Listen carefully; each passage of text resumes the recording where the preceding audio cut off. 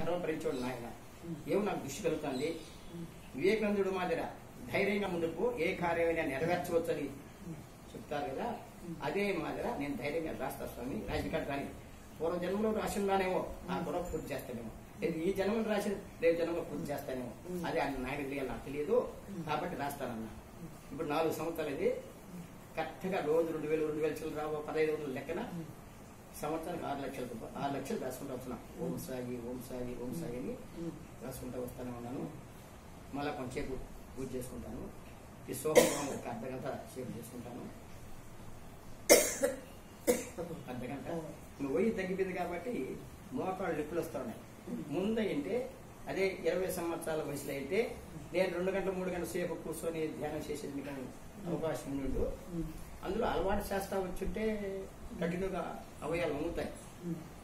మనం పొలంలో తిరిగి అక్కడక్కడ పనులు చేసి మనం చేస్తా ఉన్నప్పుడు అవయాలు సక్రమంగా తేడా. పలకరించవు ఈ మోకాళ్ళు నిప్పులు వస్తాయి. అందుకోసం ఎప్పుడెప్పుడు ఇంక లేద్దాం అనిపిస్తుంది.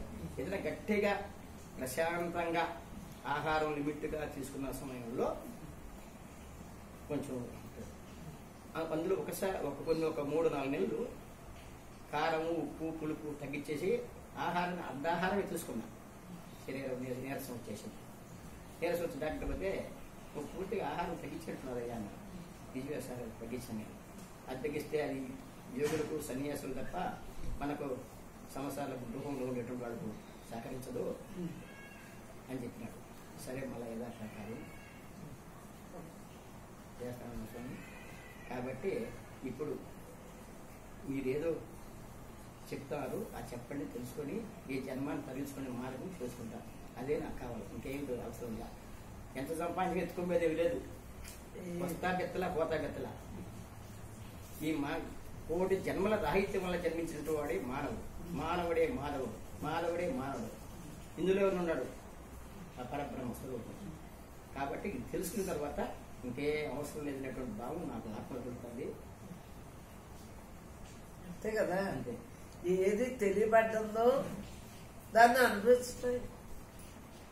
మనం ఈ అనంతత్వంలో ఉన్నాం చూడండి ఈ స్లాబ్ కింద దీనికి మధ్యలో ఏదైతే ఉందో ఈ అనంతత్వం అంతటా ఉంటుంది అంతటా ఉందా? అలాగే ఈ అనంతత్వం అందరిలో ఉందా? ఆ ఉన్న ఎరుకుతో మనం ఉండటం ఎలాగా? నామ రూపం గుణం గొడవ మర్చిపోవాలి నామం రూపం గుణం ఈ మూడు మర్చి. నేను పరమాత్మనే అందరిలో ఉన్నది. పరమాత్మ నాలో నీలో అందరిలో అంతటా వ్యాపించిన అనంతత్వానికి మనం ఎలా ఉండాలి అంటే ముందు చిన్న చిన్నగా నామరూపం తగ్గించేయాలంటే ఎక్కువ మంది దగ్గరికి వెళ్ళకుండా తక్కువ తక్కువ చేసుకుంటా తక్కువ తక్కువ చేసుకుంటా అంటే చాలా విషయాలు తగ్గిపోతాయి. ప్రపంచ విషయాలు తగ్గిపోతాయి. దేహం పట్టు ఎలా తగ్గాలంటే ప్రపంచం పట్టు తగ్గింది కదా? దేహం పట్టు ఎలా తగ్గాలి? ఈ దేహం నేను కాదు కదా? నేను బ్రహ్మాను కదా?